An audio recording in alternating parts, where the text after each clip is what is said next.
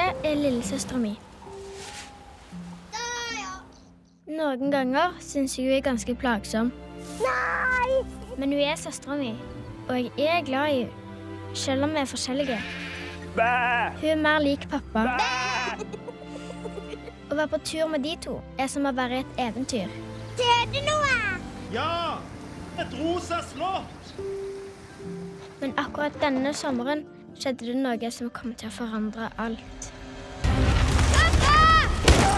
Pappa! Går det bra?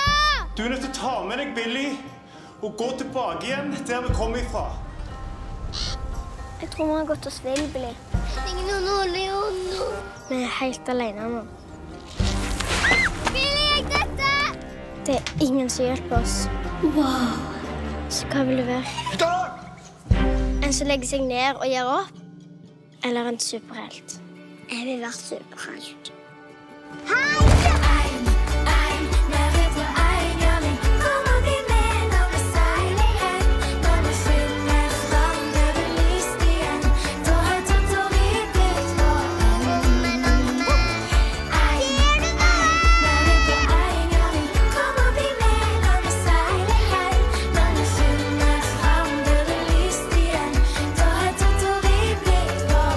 Du, hva er det du kaller deg? Totoli. Banan.